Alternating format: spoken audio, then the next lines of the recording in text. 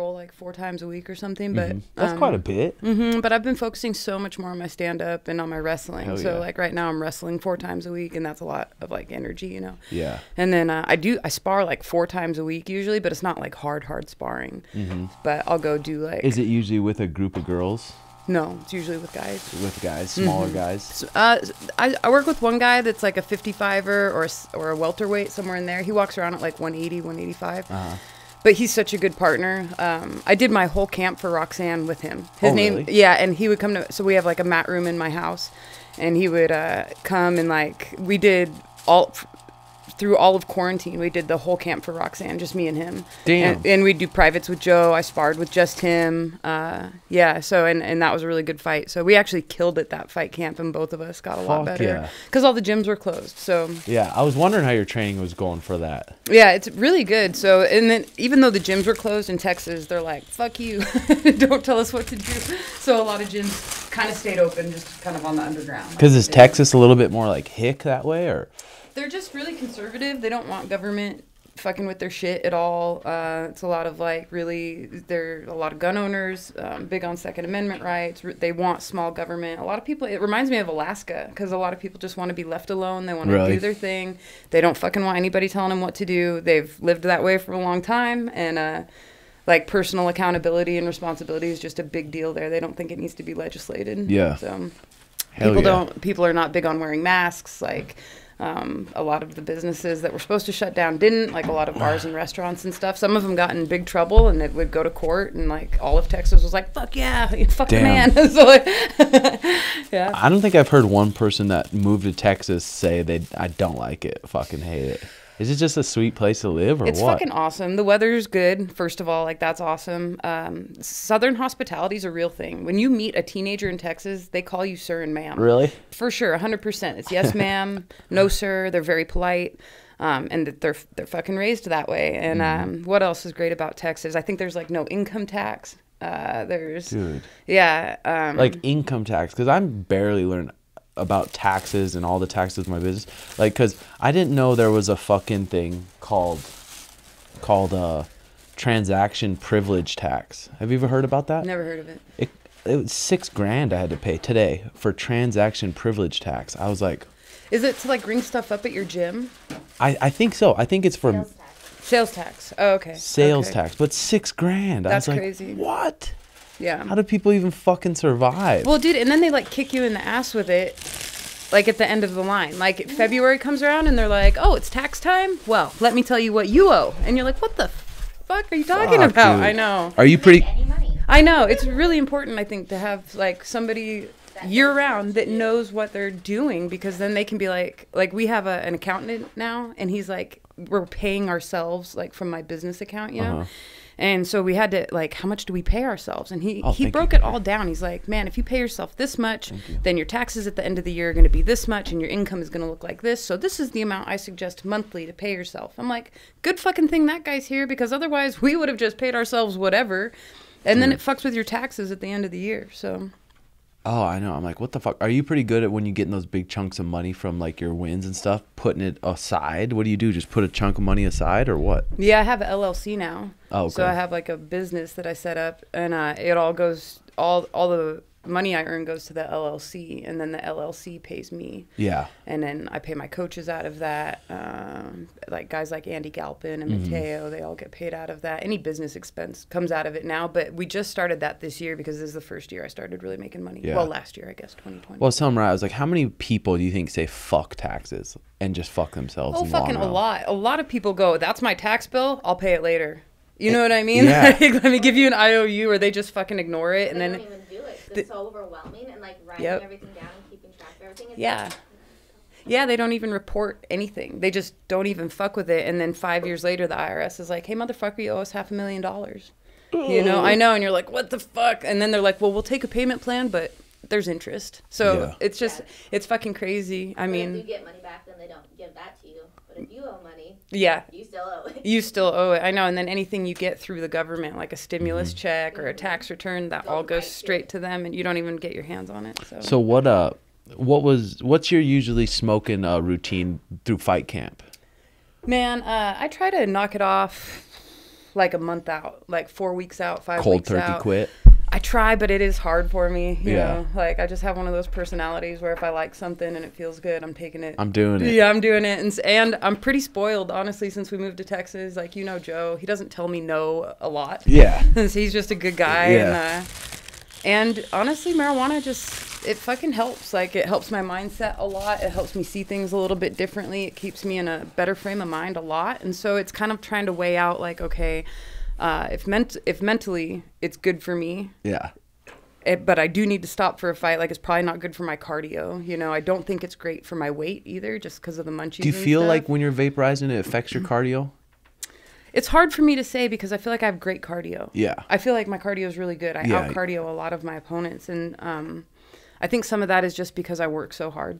So I know there's a lot of high level UFC fighters that Mm-hmm. Yeah. smoke weed that have amazing cardio. Yeah. You know, and I think it really does come down to like, are you training your cardio in the right way? You Mm-hmm. know, so I, I don't know. For me personally, the effect might be minimal, but I would hate to think that I lost a fight because I didn't quit smoking Yeah. weed. You know, Yeah, like that would really, really fucking bother me. So Because do you ever smoke and stuff before practice? Before jujitsu practice, for sure I will. Or if it's going to be like a light practice or something, then Yeah. yeah. But as it gets more serious in camp, and I need to like take more care, then no, I'll Yeah. wait till after. Plus, I like I like working out hard, sober, and then getting high afterward, Oh, like and sure. then like relaxing. Nothing It- better. It really helps me sleep too. Like when I stop smoking weed, I go through a period for sure where I Mm-hmm. don't sleep very well. And in camp, that is super, super important. Get your rest. For Get real. your Z's. For real. Because how many hours a night you usually get of sleep? Nine. Like six. really? Yeah, and it's bad. I don't like it. When I get eight, I feel like on What do you fire. do? For, what, six hours? Like what time do you go to bed? What time you wake up? Uh, it- honestly, it kind of doesn't matter what time I go to bed. I wake up about six hours later, and the trick for me is going Huh. back to sleep without like getting uh without getting up. But a lot of times, like I'm getting old, so I, like I hurt a lot. I'll wake up because I'm in pain. Because you're 30. 37, baby. Damn. I know. And then and That's then uh, badass. yeah, and then uh, if I don't eat right, this is so crazy. But if I don't eat right, I'll wake up and I have to shit at like Mm-hmm. four in the morning. And so I'm like, you know what? I have to eat really well so that I can sleep, and I have to sleep really well so I can have great workouts, and I have to Mm-hmm. have great workouts so I can win these fucking fights. It's really like this big domino effect. But yeah, diet and sleep just play a huge, huge, huge part. Yeah, that's fucking awesome. Because I okay, when's the first fight I went with you? Was it Pittsburgh? I think. It was Pittsburgh. I wish I'd taken you with me a lot sooner. was it Pittsburgh? To, uh, Pittsburgh to fight? Not. It wasn't Sajara. uh, Kelly Faszholz. That's right. That's right. yeah, Which was a fucking sweet fight. it was awesome. But God, what changed for you? Like, because even when you were training here, you were seeing a sports psychologist, and you're you're always been super intelligent about that stuff and read books and like super smart about it. But something obviously changed once you left. Big time. Once you left, what was it? I think it was my confidence was probably the number one thing, Yeah. Um, when I moved to Texas, so I had a coach out there that I had already worked with before I ever even moved to the lab, and he had done five fights with me. He four, maybe four fights, but he took me through Invicta. I won the Invicta championship um, with him, and um, he was just such a cool guy. He has five black belts. His name is Alex Cisne, and he has a really small like roster of fighters, really small stable, and uh, he was just always a super kind coach, very level headed. He's very stoic. He's he doesn't get emotional. And then um, I met Bob Perez in 2019. I went to go train with Montana De La Rosa, and I met Bob Perez, and he is hysterical. He's Derrick Lewis's coach. He Uh-huh. has like the handlebar mustache. Yeah, I know he's that guy. Yeah, he's fucking cool, and he's a really good striking coach. And that's awesome. so working with them, they really respect me. They treat me with a lot of respect. Mm-hmm. Like they, it, it was a stark contrast. Yeah. you know, and uh, uh, they treat me with a lot of respect. They believe in me. Like they've just always told me like this is you're so strong. You hit very hard, Mm-hmm. and then they're not afraid to tell me like you need to work in these areas. Like, and then they say let's do it, and here's how we're gonna do it. Yeah. And I love that. It makes me feel like I'm really accomplishing stuff. Yeah. Every time I go into a fight, I feel like, man, I've gotten so much better. Uh, these guys believe in me. They set me up with uh, training partners that are going to emulate my next opponent. They're really good at game planning, which Yeah. has really changed the game for me. Because I am the kind of athlete, if you give me a job, you tell me what to do, Good do. I'm going to do it. Yeah, It- for We're going to find a way to get it done. If you tell me to be creative and find a new move to do or like some new jujitsu sequence, I'm like, I no, Uh, yeah, I'm yeah. like that's not me. I am the kind of person Yeah. though where you tell me to do it, I'm like, okay, fuck, suit up, let's get it done. Dude, well, I forgot who said it, but I, I've always thought it too. The most, 100% the most important thing going into a fist fight is your confidence. And even, I was telling Sean the other other week, I was like, dude, you could be fighting a hillbilly from Montana with the shittiest training or a kid from that's trained at TriStar who's a good athlete but questions himself. And when things get hard, he'll find a way out. And the hillbilly's going to beat him up. Yeah. Just because of his confidence. That you see it all the time in MMA. You see guys that should not win a fight. They, you know what I mean? Yeah. You're like that guy is not very technical. He's not very good, but I, I'll be damned. They just find a way to pull it out because they're not afraid to try. Yeah. And they believe in themselves and they're not going to quit. And they, you know, they always feel like, like even they get beat up two rounds, they think like, oh, this third one, I got this. I can change this. I can turn this around for myself. Like a almost one of the best people that have it is like Bam Bam, you know. Yeah. He's just a tough one. That Bam, uh, Bryan Barberena, he could train forty. He could go on a run forty five minutes every day for a fight camp. Go into a UFC fight, be like, I'm gonna fuck this guy up, and truly believe it too. Yeah, yeah, and just in my own like experience, like I remember what it was like fighting in Invicta and just not being afraid to try, not really caring if I won or Mm-hmm. lost, um, and not feeling like it said anything about me as a person. And then that kind of changed for a while, and I really, um, I felt like, man, nothing I do works. Like Yeah. I'm not good at this, and so I would go into a fight and I would want to do something like throw a simple jab cross, but in my mind I'd be like, it's not going to work. This isn't going to work, and Yeah. it, you know, it's based on having experiences for months prior where it didn't work. Yeah. And so that's another big thing is I have a lot of success in practice now, which is nice. I practice success, and then Mm-hmm. when I go to the fight, like I have practiced being successful, and that practice translates to you know, yeah, going that's live. fucking nice. Well, always every time I've cornered you or even like helped you during your fight camp stuff, I've always noticed how tough you are. like Thanks, man. overthink everything. like used to overthink kind of everything. Be like, ah, but I'm like, dude, you are so tough. This bitch isn't gonna rock you. I don't think you've ever been fucking rocked. But where I, I want to know, like, cause probably not a lot of people know like your story and what what age you started jujitsu and what kind of where you got that mentality from to fight and to be super tough. Where did it come from almost? I don't know. I've always been tough, honestly. Like From since- what age? As long as I can remember. Really? Really, like Were, even were you a tomboy a little bit? Mhm, Yeah, I always hung out with boys, and then even when I was little, I remember clearly like wrestling with my brother uh, when we were kids, and I remember adults commenting on like how tough I was, and I, I must Uh-huh. have only been seven or eight, you know.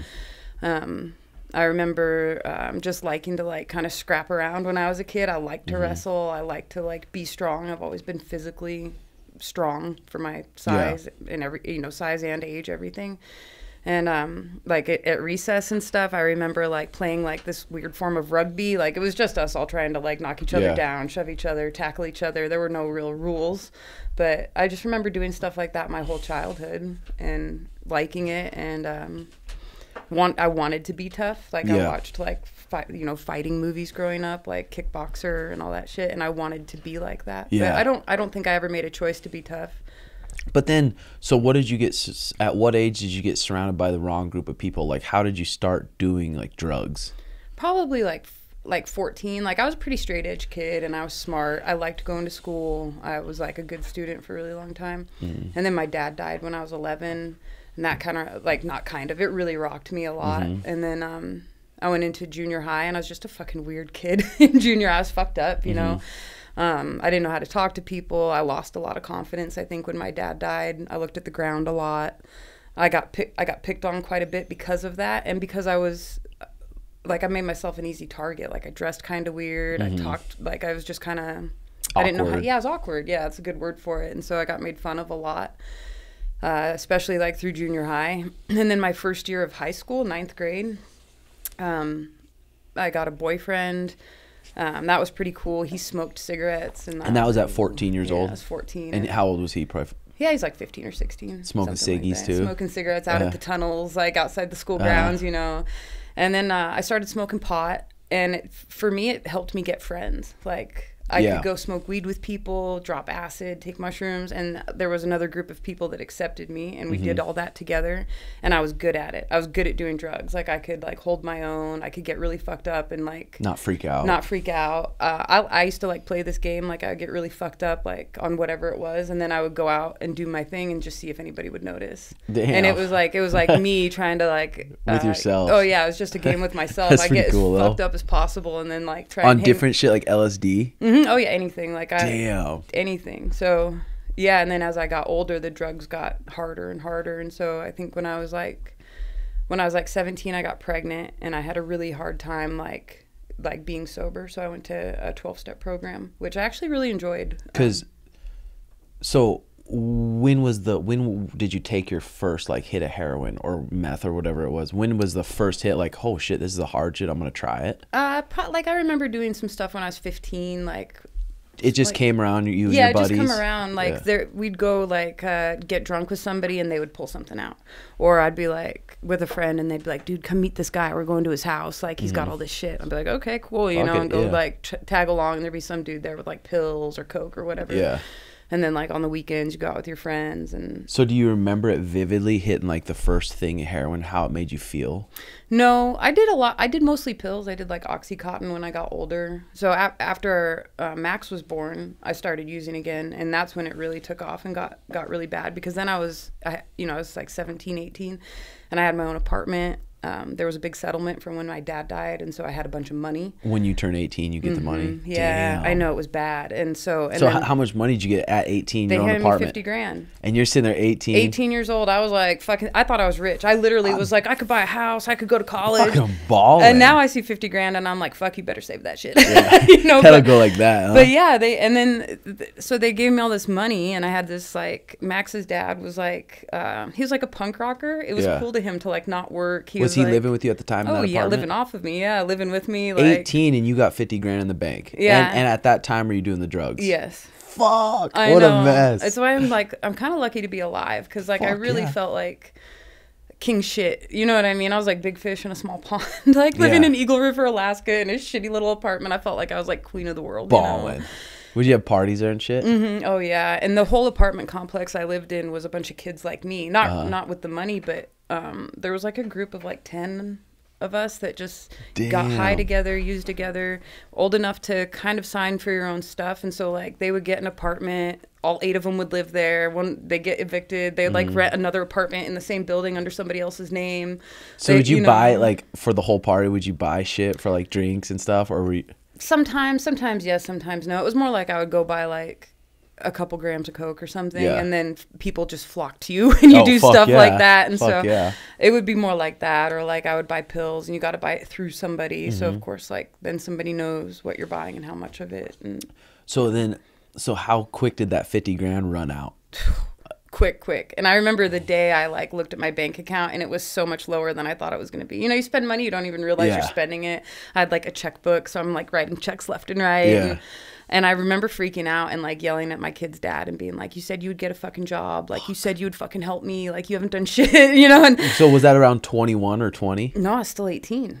what are you talking? That 50 grand lasted like a month, dude. I you bet that was a fun month though. So and I, I had a job delivering pizzas and I loved it like because mm. I drove around all the time I could just smoke weed and drive around deliver pizzas I made cash every night I drive like a maniac so mm-hmm. I was like pretty fast you know Yeah. so yeah I made like tips and cash and So then from 18 to how old? Because before you started jujitsu, you started jujitsu at what age? I was like 27 Mhm. so from 18 to 27, what was your life like? I had a period there of uh, like five years of sobriety in there. So like like 21, I basically hit rock bottom. I was like in and out of the hospital. I was IV using, so I was using a lot of needles, and that leads to stuff like abscesses and infections and. you just um, hitting the wrong vein or missing the vein? It just gets what? infected. You're t- literally taking like a needle and sticking it in your skin, like however many times a day. Twenty. Same needle. No, hopefully not. Uh, addicts will, but hopefully not. Hopefully, you used to be able to get a box of hypodermic needles from like I think you still can. Like you know, guys get them to drain their ears Yeah. and stuff. Um, and so yeah, you could just go and be like, hey, I'd like a box of hypodermic needles. They'll give you like 50 of them or whatever. It's like eight bucks. So then you get those fucking infections. Because how many times would you usually stick yourself a day on a day where it was bad? Oh, I fucking couldn't even tell you. Like five. it depends on how much, drugs you have. And then honestly. you just hit it. You know, and it's like you don't want to waste the needles you have, but you don't want to reuse them too much either. So Yeah. it's, I mean, it's it's a gross, it's a fucking disgusting way to live. You, It's you had to go to the hospital for infections though and shit. Yeah, like um, like I had like abscesses in my arms, and and it's an infection in your skin, so you have to take antibiotics for it and stuff. But I didn't even know what it was, and so I Ah. my friends took me to the hospital one time, I think twice for abscesses, and one time because I OD'd. And I OD'd pretty bad, like. I had a seizure and Wow, like, fell out, and so they called it. You know, they had to call an ambulance and like. Just fucking drooling there, sitting there. Well, by the t- so I had this seizure in my truck. I had a truck that I bought with fifty thousand dollars, so that's like half of it right there. uh, but I had a truck, and I was getting high with a girl, and she's actually dead now. She's been dead a long time, but um, we were we were shooting up, and the last thing I remember was being like, "Man, I need some air. If I could just." roll down my window i could get some air and i was sitting in the driver's seat and then the next thing i remember i looked over and she was like staring at me mouth open eyes wide and i was like mad i was like what the fuck are you looking at what is your problem With your ass beat, bitch. yeah, I know exactly. I was like, what the fuck? I was 21, I think, or 20, and uh, she goes, "Man, you had a seizure and you hit your head on the horn." She goes, "We gotta go. The cops might come." And so I was like, "Okay." And I just put my truck in gear and I drove her home, and then I drove to my friend's house and I told them what happened, and they were like, "Fuck, you need to go to the hospital. Like, you could have another one. Like, anything Yeah. could happen." And I called my mom. I was crying, and I was like, like I think I OD'd and I don't know what to do. And so anyway, I went to the hospital. They called an ambulance and I rode by ambulance, which today I probably wouldn't do that. I'd be like, no, fucking, I'll drive. Yeah, yeah. but uh, I, w- I went to the hospital and just um, I, I was like, fuck, like really didn't want to be where I was. I didn't want to get high any, like I didn't want to use coke anymore. I didn't want to take any more pills. I wanted to be a good mom and like a good. I was a shitty person. Because how old was Max at that time? He would have been 3 Mm-hmm. something. Yeah, I think three. It was before he was in school for sure. So anyway, I ended up going to a bunch of rehabs, and um, my mom like let me live with her, which was really cool of her. What was the longest rehabs? I stayed in rehab for like like I went to like three or four different rehabs over the course of like two years, and I think I stayed in one rehab for like nine months. What the hell would you do every day at that? Fuck, they have, there's all different kinds of programs. Some of them will send you to work like outside of the Uh-huh. program, and then you go sleep there at night. Um, some of them have you all fucking live together, and you just like run the basically you run the rehab program that you're in. And so I was in one of those. It's called like a therapeutic community. So I was in that for like nine months, but I never stayed sober in a Espe- well, you were around all the other druggies. Dude, You're like, the- fuck, let's just sneak off. This is like what I have come to believe is that if you want drugs or alcohol, the best place to find it is with an addict, and the fucking best place to find an addict is in a rehab center. They're Yeah. chock uh-huh. full of them, you know. And everybody, like everybody's on the struggle in one of those places, and it really doesn't take much. It takes one fucking person to go, "Hey man, I got some pills," you know, or like, Let's go. "Hey, yeah, let's go," or like, "Hey man, I'm fucking getting this work pass. What do you think we could?" You know. Yeah. And so yeah, it's it's really full of places like that. So anyway, I called my mom and I was like, "I'll if you let me like stay with you," I said, "I'll go back to a 12-step program." And she was she was like, "Okay." And so I did that and I actually really like I said I really enjoyed it. I worked the steps like with a sponsor for mm-hmm. like 5 years. I think it did me a lot of good. It taught me a lot. It taught me like how to apologize to people when I'm wrong, which is a really valuable mm-hmm. skill. It's really served me really well. Mm-hmm. Um, it taught me a lot about like accountability. It taught me in what ways I'm very selfish and self-centered, you know, and it's just important stuff to recognize. Some people recognize that type of stuff like through meditation or mushrooms Yeah. or other ways, but for me, a 12-step program Yeah, really we- helped me with it. Some people learn like through religion and stuff. Like, yeah, yeah. So I think there's all different ways to kind of get to that point. And um, So how old were you when you f- and why did you first stop step into a jujitsu gym? Max was like eight, and I had started drinking again. So I, I stayed sober for like five years. And then when I was like 26, I was hanging out with some friends, and I was like, fuck, I don't know. It's been a long time. Like, maybe I just really overreacted, you know? Yeah. Like, I want to get drunk. And so I started drinking, and kind of went off, it just went off the rails really badly pretty quick. But I was like 26, I think, and Max was eight at this time. And so um, I was like, man, remember those movies like Kickboxer and stuff? Like I always wanted to try that, but never did.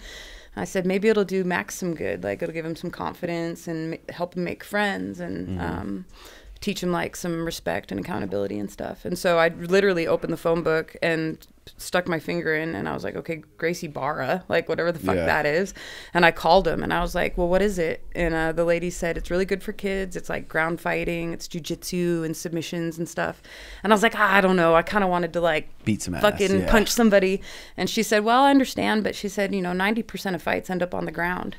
And I thought about that for like one second. I was like, fuck, she's right. Like, that's so true, you know? Yeah. And I was like, okay, I'll be in. And so I took Max, and me and him showed up just like day one, no nothings. And Mm-hmm. um, he did the kids' class, which he hated, by the way. and then, and I did the adults' class, and I loved it. There were other girls in there that were also white And Max belts. just hang out while you did the. I can't remember what Adult class, did. yeah. Yeah, we tried we tried to take him for a while, like a couple times, especially since I had started really falling in love Yeah. with it. And he just like he was literally like, "Mom, they're all touching me." Oh, So, like so first day, did you go live? uh, probably. I I remember learning like um, a couple things like very early on as a white belt, and I remember there were two or three other white belt women there, and we would we would like drill it the best we could, and then one of us would be like, okay, now I'm gonna give you some resistance. I'm gonna fight with you a little bit, and we'd be like, okay, and we like I don't know, kind of go live, Yeah. you know, the best we could, and I I rolled with uh, some of the people there, and they all told me like you're tough, you're strong, you're gonna be good, you know, even as a white belt, people were telling me that, so Yeah. That helps. I think keep your interest in something. If they had been like, nah, maybe not for you, maybe I wouldn't have fallen in love with it. But How long did you train then at that gym before you had your first fight? I started training jujitsu like in November of 2009.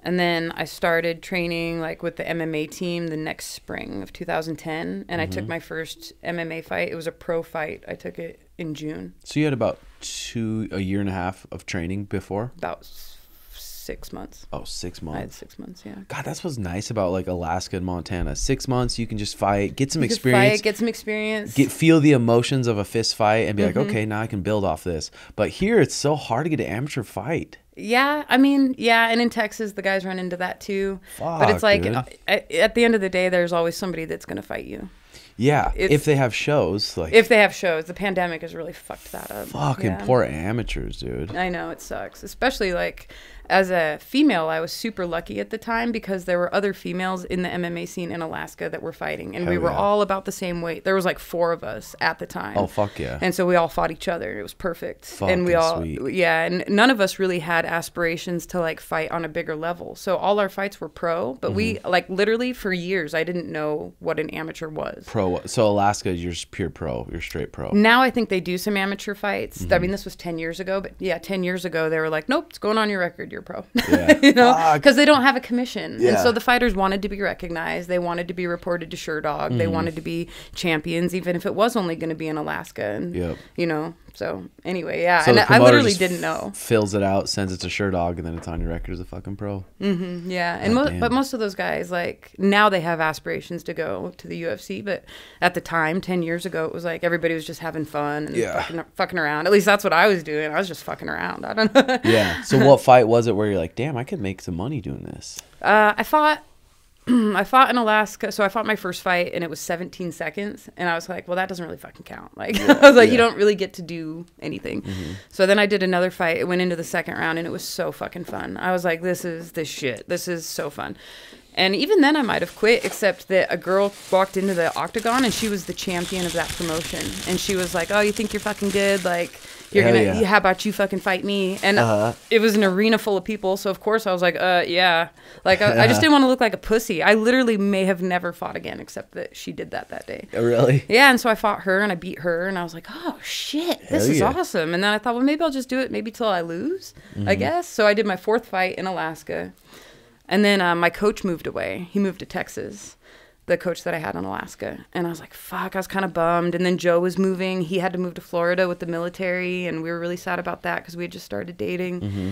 And then finally, I was just like, "Fuck it, I'm gonna go to Florida with Joe. Like, I'm gonna move with, I'm moving with you." I was like, "You can't get rid of me."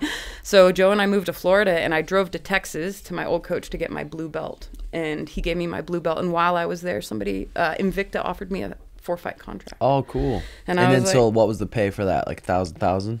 Maybe if that i think my i can't even remember what the contract specified Mm-hmm. but um, it was like a three or four fight deal at the time invicta was like really new and blowing Yeah. up and i was like super honored to be So that was the first time though your money that you got offered money.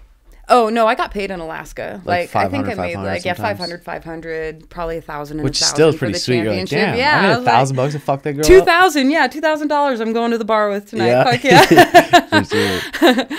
And then uh, after I met Joe, I got sober again because I was like, "Fuck, I want to be with him." Yeah. Mm-hmm. like I was a train wreck, you know, and so I was winning these fights, but it was like one of them was like by the skin of my teeth, just because I'd War. been using the. Well, she just happened to gas out. She Oh. wasn't a great like athlete, but.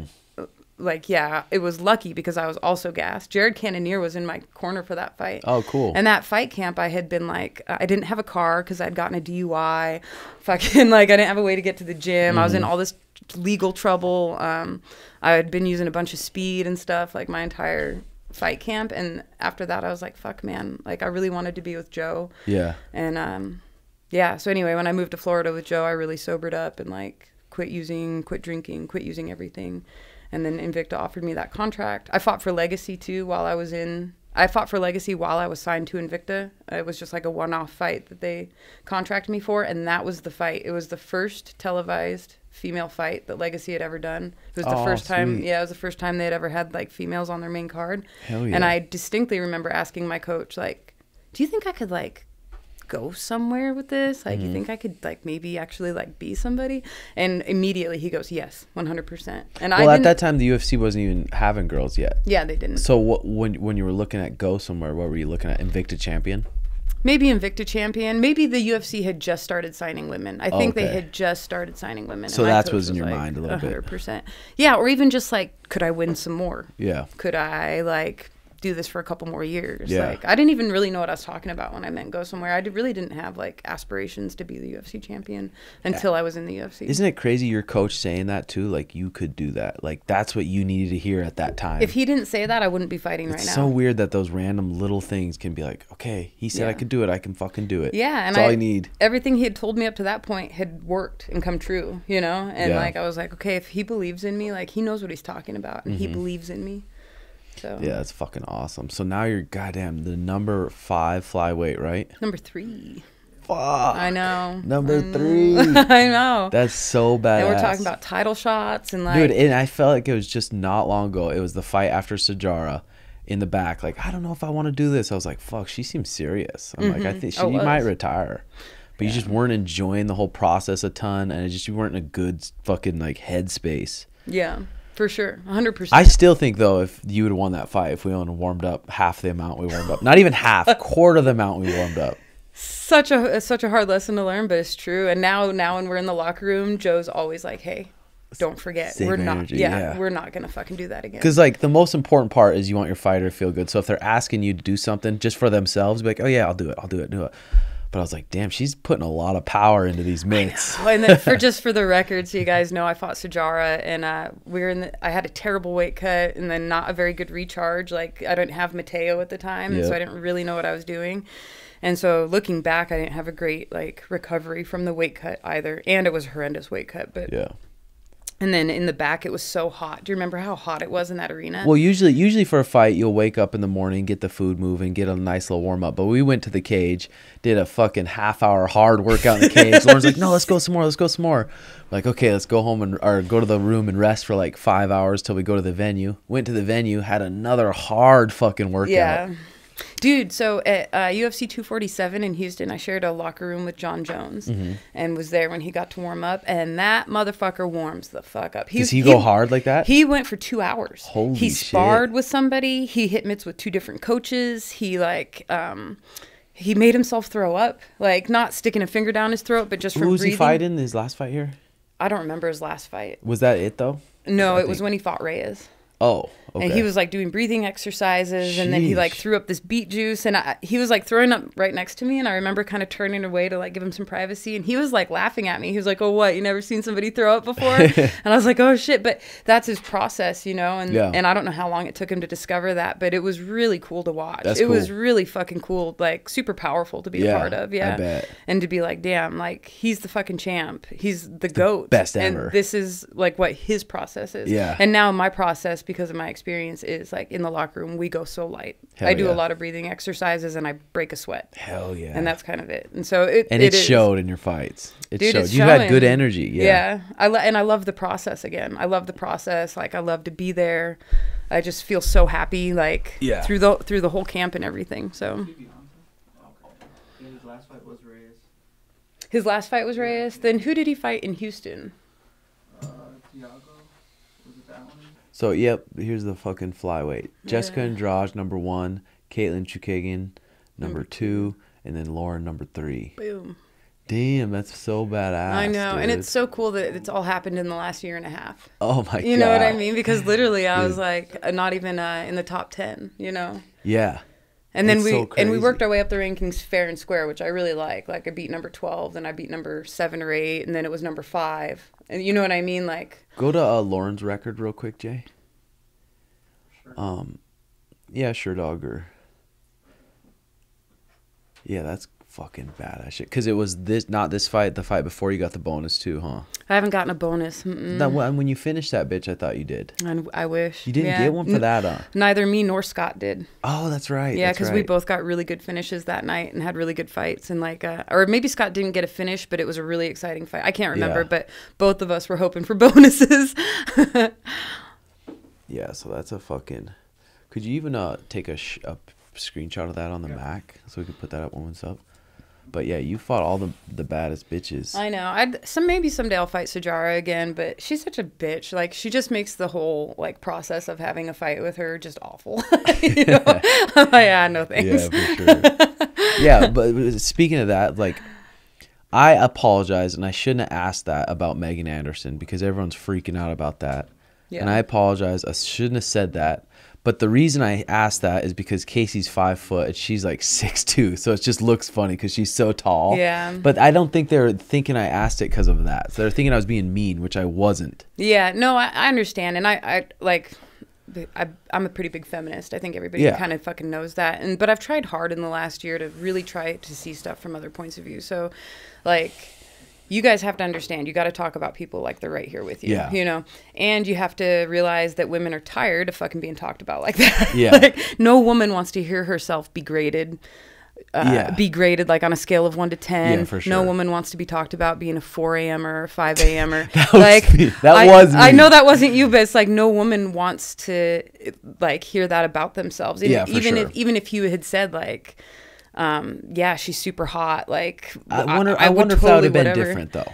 I, I don't know. I, I think it still would have made her really uncomfortable. Maybe really, yeah. with the picture she's posted. Yeah, because now she what? She's gonna go share a card with Casey Kenney, and she's Yeah. got to act like she's happy to meet him after he just talked about whether or not he'd fuck her. Yeah, true. Come true. on, no, no woman, no. and that was really my wants to be fault for putting, like putting that, him in that situation. It was just popping up. I was just being myself, I guess. So, but then what what we all need to realize is that like one, you do view it as harmless. Like Yeah. it might it might not be a harmless comment, Mm-hmm. but in your heart you are a good person and you're not Yeah. trying to hurt people. And I think that is a really important thing that we all need to realize because it's like, okay, what would you do like just from the way I think about I'm like, what would I do with Max if he made a shitty comment? And I know in his heart that he's not a shitty person. Yeah. But he made a comment and have I ever done that? Like, well, 100% I have fucking done that. Max has made shitty comments Yeah. uh, that I didn't like. And it's just a little, you just have to be like, hey, man, that's not cool. Yeah, like, you and don't I talk like said that. that, for And. I've had to tell him, like, you don't talk to your mom like that. You Yeah. don't say those things to your mom. Those are things you say to your buddies by, by yourself. Yeah.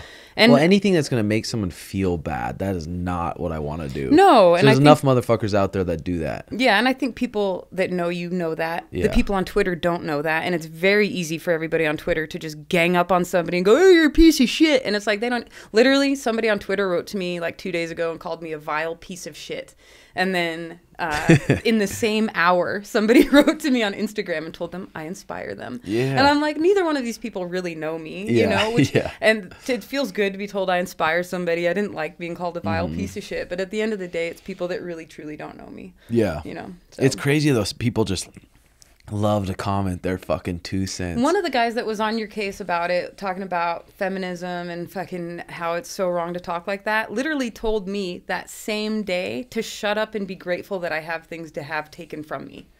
So a lot of these hmm. people are also not very self-aware. yeah. I literally don't read. I, I click my mentions and don't read any of them. None of them. Fuck, No fucking way. I'm gonna go, like let my mental energy get used up by this. Yeah, Like I- no way. I want to I want to hear people's opinions. I want to hear how people think. I think and part the part of doing that has helped me like understand like okay, comments like this are not from a bad person. Mm-hmm. Do you know what I mean? And then it, listening to other people's opinions and how they think, it's like I'm usually pretty liberal, but I have to respect the fact that people that, you know, lean to the right really feel that way and they have reasons for feeling that way. Do you know what I mean? And the Mm, sooner I can get on board with that, I think the sooner I'm going to be able to have peace in my life. Yeah. Well, So- I I always like thinking if I was raised exactly how they were raised in their body, I would probably be the same way. Yeah. So it's I, like fuck. I think that that's, you know, pretty pretty true. So pretty accurate. Yeah.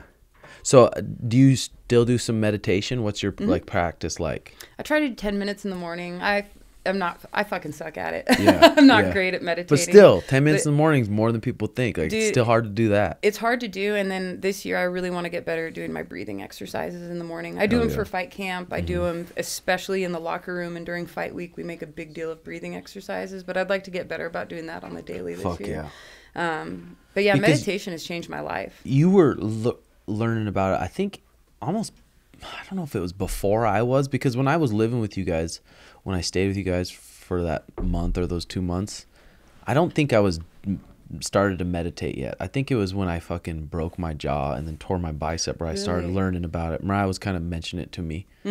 Um and then where who where did you start to learn about it? Just after the ultimate fighter. Because and but i think that's what it takes for people some hard Yeah. experience that they're having a hard time dealing with and then you find meditation or you find Or something religion. that helps you or religion Yeah. or marriage maybe or Yeah, like yeah. or a 12-step program or whatever it is but yeah that's like, true yeah but a bunch of people were like hey man you seem really stressed have you thought about meditating and i was like no you know what are you talking about i didn't see how it was going to help and then um, i just tried it like the way you try anything i'm like okay i'll give it a fucking couple days like you start with headspace hmm Yeah, I still use Headspace quite a bit. I Hell like um I like waking up. Um, what's that guy's name? Sam Harris, yeah. Sam Harris. Yeah, I like waking up. The headspace, uh, I like that guy's voice. That's like he's a super soothing voice. Mm-hmm. And I like that there's different styles of meditation, and you can do whatever works for Yeah. you.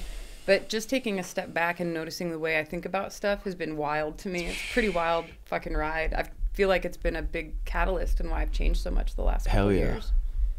Because I'm sure just all the shit you've been through, all the like, even the drug addicts you've been around, like, I'm sure what automatically comes to your mind when someone does something is like almost not hateful shit, but almost like, oh, there's an issue with that.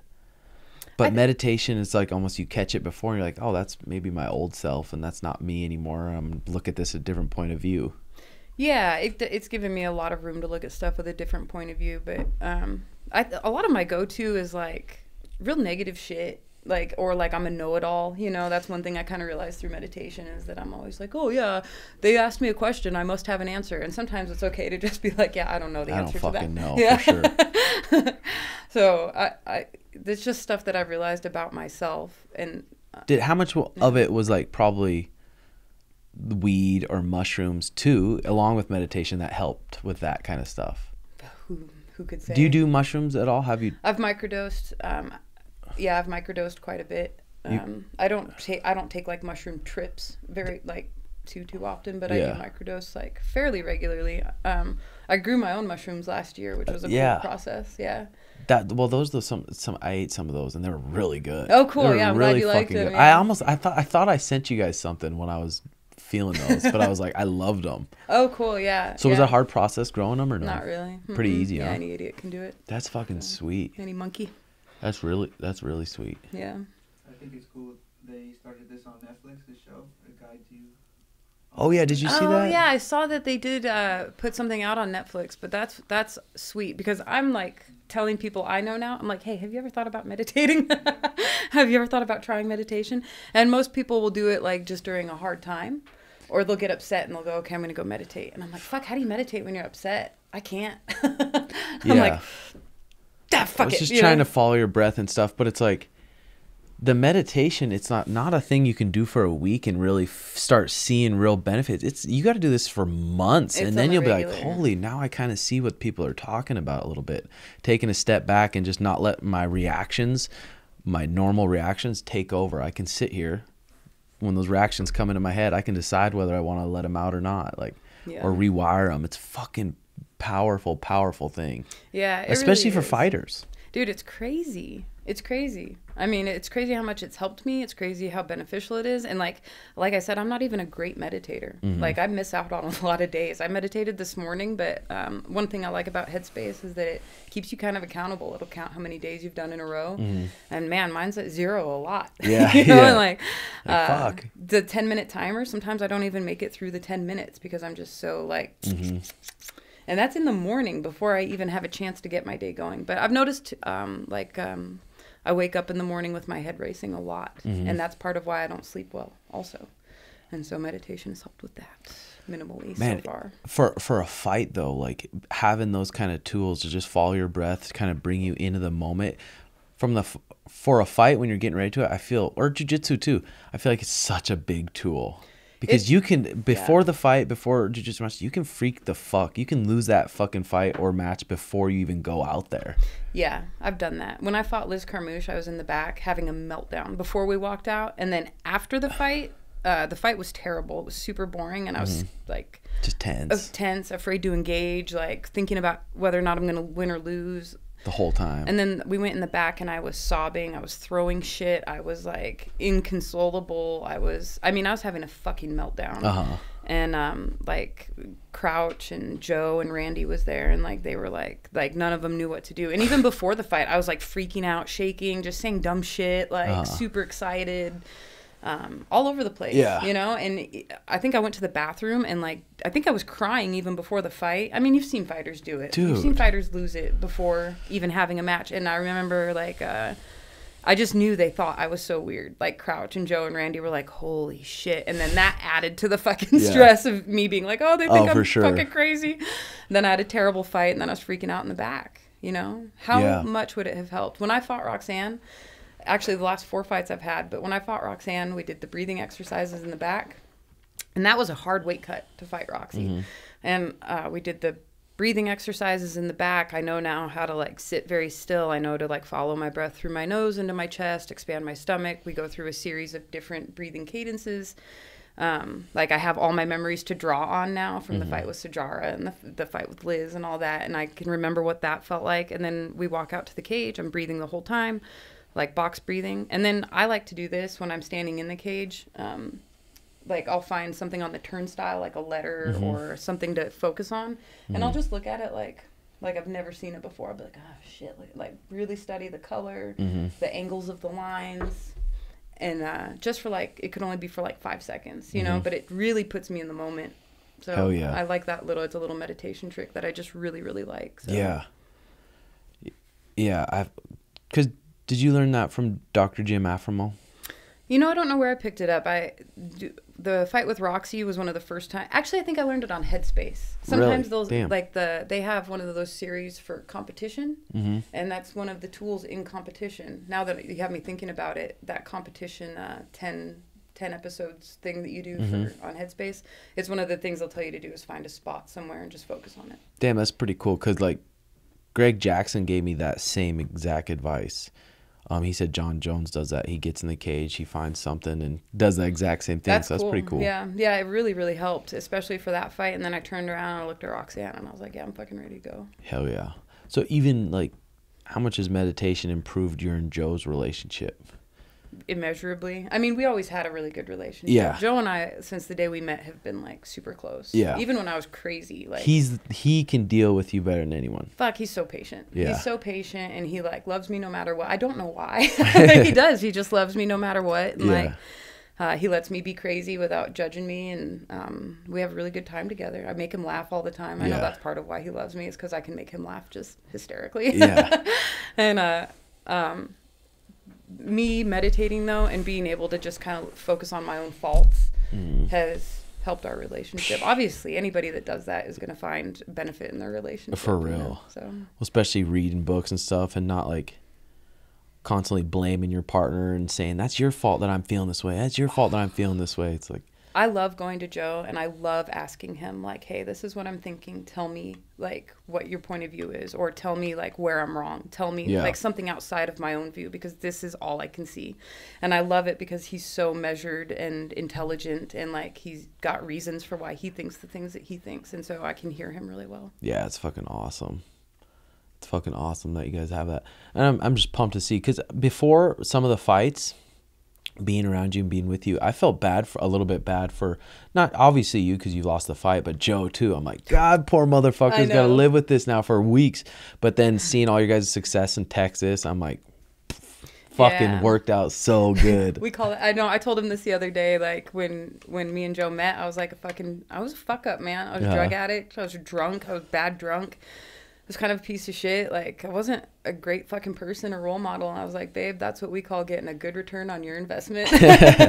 Dude, stuck real. it out, and now we're doing it. But like we never fought. Like he never treated me badly. So yeah, that's fucking um, awesome. I guess he he was like he and I he laughed, but he was like, man, I've just always loved you. I've always Yeah. loved you. You know? That's fucking So- sweet.